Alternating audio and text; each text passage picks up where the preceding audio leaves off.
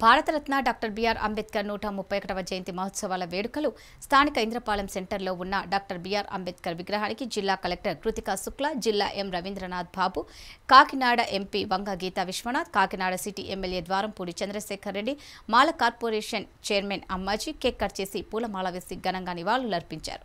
ఈ సందర్భంగా కలెక్టర్ మాట్లాడుతూ డాక్టర్ బిఆర్ అంబేద్కర్ ప్రపంచ మేధావని ఆయన ఆలోచన విధానాల్లో మనమందరం కొనసాగాలని తెలిపారు కాకినాడ నగర మేయర్ శ్రీమతి సుందర సభ్యులు శ్రీ ద్వారంపూడి చంద్రశేఖర్ రెడ్డి గారికి నారాయణ ధైర్యం గారు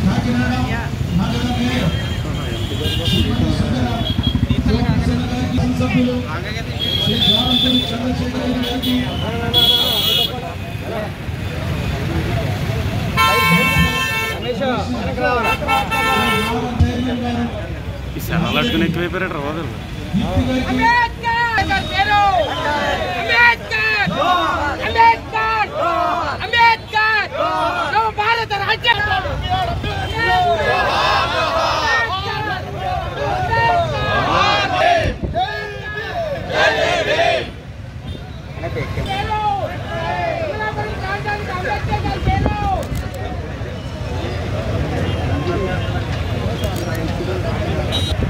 నవ భారత రాజ్యాంగ నిర్మాత నవ భారత రాజ్యాంగ నిర్మాత వేల ఆశల నిర్మాత అంబేద్కర్ అంబేద్కర్ అంబేద్కర్ అంబేద్కర్ అంబేద్కర్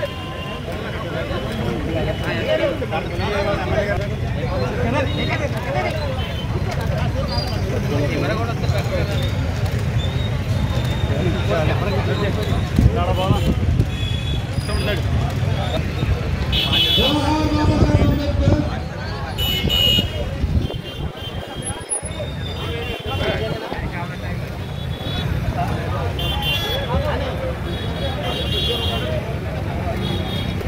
దయచేసి గమనించండి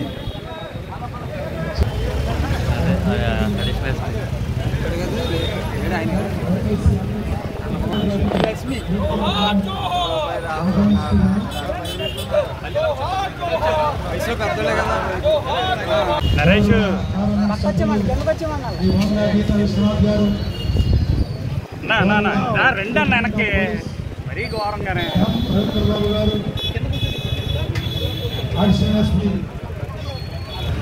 గౌరవ కాకినాడ సిటీ మేయర్ గారు కూడా చైర్మన్ గారు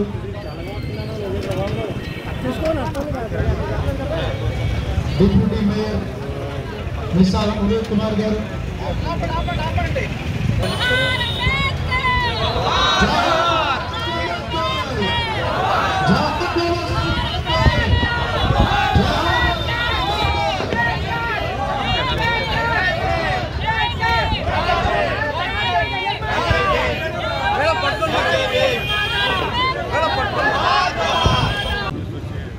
ఆంధ్రప్రదేశ్ షెడ్యూల్ ఈ సెక్రటరీ గారికి ప్రెస్ మీడియా వారికి అందరికీ నమస్కారం.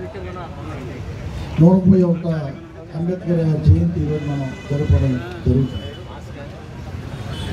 కరోనా ఉన్న సమయంలో గత లాస్ట్ రెండు సంవత్సరాలని కూడా మనం జస్ట్ గార్డెనింగ్ చేసి అప్పుడు కోవిడ్ నిబంధనల మేరకు మనం వెంటనే వెళ్ళిపోవడం జరిగింది. ఈరోజు దేవుడి దేవల్ల ఇదంతా కూడా ప్రశాంతంగా ఉంది. కోవిడ్ లేదు. చాలా గ్రాండ్గా మనం గతంలో జరుపుకునే వాళ్ళం. ముఖ్యంగా అంబేద్కర్ భవన్లో. ఇక్కడ గార్డెనింగ్ చేసుకుని అంబేద్కర్ భవన్కి వెళ్ళి మంచి ఏసీలో మంచి వాతావరణంలో భక్తులందరూ కూడా అంబేద్కర్ గారి గురించి తెలిసినటువంటి భక్తులందరూ కూడా మాట్లాడటం చాలా బాగా చేసుకునేవాడు కానీ ఈరోజు అంబేద్కర్ భవనం లేకపోవడం నిజంగా బాధాకరమైన విషయం మనందరికీ కూడా. కాకినాడ పట్టణంలో నడిబొడ్డున గవర్నమెంట్ ప్రోగ్రామ్స్ కానీ అదేవిధంగా షెడ్యూల్ కూడా కానీ షెడ్యూల్ బ్యాక్ అది షెడ్యూల్ కాస్ట్ వాళ్ళు మ్యారేజ్ చేసుకోవడానికి కూడా చాలా తక్కువ మనం ఆ యొక్క భవనం ఇచ్చడం జరిగింది. ఇప్పుడు పెద్దలందరూ చెప్తున్నారు అంటే కోవిడ్లో అది లాక్ లాక్ చేయడం నిజంగా నా దృష్టి కూడా తెలియదు అది రిపేర్లో ఉందని. తప్పకుండా ఆ స్థితిలో వస్తుంది. ఇది అది గతంలో ఆ, గారితో మనం ఇనాగ్రేట్ చేసుకోవడం జరిగింది. కనుక మరలా ఇది తప్పకుండా నేను కానీ ఎంపీ మేడం గారు కలెక్టర్ గారు అందరం కలిసి మంత్రివర్యుల దృష్టికి తీసుకెళ్ళి తప్పకుండా దీని మీద శాంక్షన్ చేయించి ఆ భవన నిర్మాణానికి తప్పకుండా కృషి చేస్తామని సందర్భంగా నేను ఇంత చక్కగా సెలబ్రేషన్ చేసి నన్ను కూడా ఆహ్వానించినందుకు మీ అందరికీ కృతజ్ఞతలు తెలియజేస్తా ఉన్నాను. మీ- అంబేద్కర్ గారి కోసం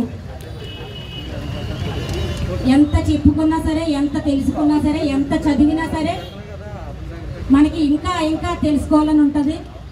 ఎందుకంటే కనిపించిన దేవుడు భగవంతుడని కొలుస్తాం మనం. కనిపించే దేవుడు డాక్టర్ బీబా బాబాసాహెబ్ అంబేద్కర్ మాత్రమే. ఆయన ఈరోజు నేను ఎలా ఉన్నానంటే అదేవిధంగా అందరం చదువుకుంటున్నామంటే అందరం మంచి బట్టలు కట్టుకుంటున్నామంటే ప్రతి విషయంలోని కూడా ఆయన చేసినటువంటి త్యాగాలు కానివ్వండి ఆయన రాసినటువంటి రాజ్యాంగాన్ని కానివ్వండి ఇతర దేశాలు కూడా కొనియేటటువంటి పరిస్థితులు మనం అందరం కూడా చూస్తూ ఉన్నాం. ఒక ఎస్సీ ఎస్టీ మైనార్టీలకే కాదు కానీ మొత్తం మనిషి అన్న ప్రతి ఒక్కరికి కూడా ఆయన రాసినటువంటి రాజ్యాంగం రిచ్యూస్ అని మనందరికీ కూడా తెలుసు.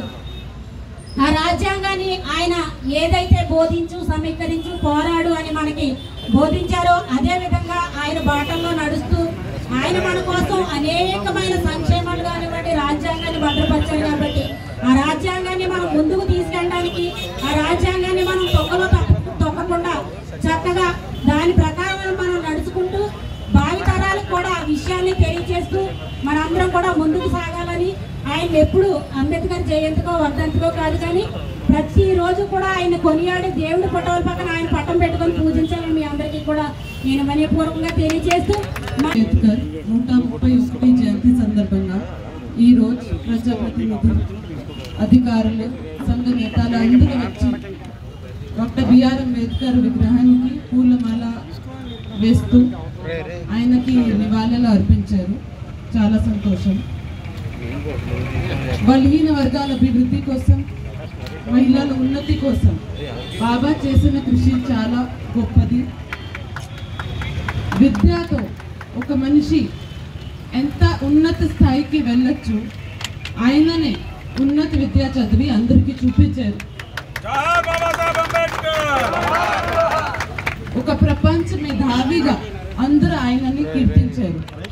మన కాన్స్టిట్యూషన్ కూడా అతను చాలా జాగ్రత్తగా నేటి రాబోయే తరాల ఆకాంక్షల్ని మంచిని దృష్టిలో పెట్టుకొని మంచిగా కాన్స్టిట్యూషన్ రచించారు.